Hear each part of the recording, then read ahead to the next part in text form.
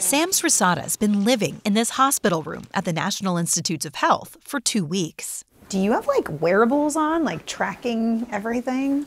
Yes, so I do have a couple of these sensors. He's not sick. He's a participant in a clinical trial, one of the first of its kind, measuring his movement, his blood, his gut microbiome, even the air he breathes, all to try to better understand how our health is affected by ultra processed foods. Oh, I think your food's coming in. We saw the kind of food he got. It had eggs and spinach and yogurt, but we don't know. That could be processed, it could be unprocessed. Uh, that's part of the trial. Ultra processed foods contain additives and ingredients you wouldn't find in your own kitchen.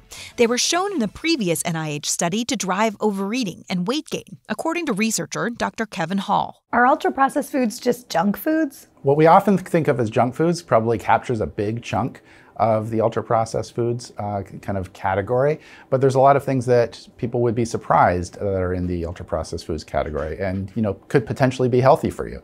So things like whole grain breads that you might buy from the supermarket. Most of those are considered ultra processed because of some of the additives and preservatives that are in there as well as how they're manufactured. There's a lot of debate about whether or not all ultra processed foods uh, are bad for you. And that's what this trial is trying to find out. What are the mechanisms? What is it about this category of foods that is driving people to overconsume calories? Dr. Hall's team has two ideas about what might be causing people to overeat some ultra processed foods their energy density, or how many calories are in each gram of food, and their hyperpalatability, when foods contain just the right combinations of salt, sugar, fat, and carbs to make us not want to stop eating them.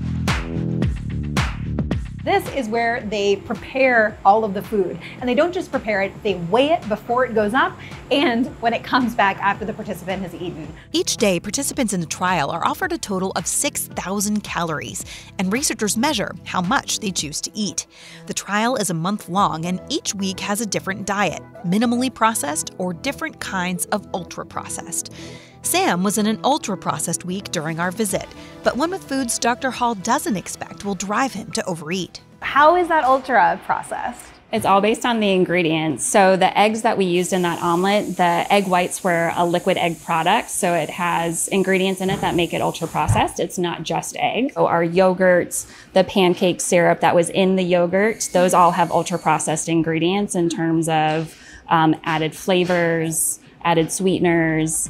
The next day, Sam would switch to meals that were more energy dense and hyper palatable, the ones expected to lead to overeating. So you can see that these are all foods that um, they're ultra processed, and you can see that the volume compared to this is quite different as well. Wow, that is really illustrative.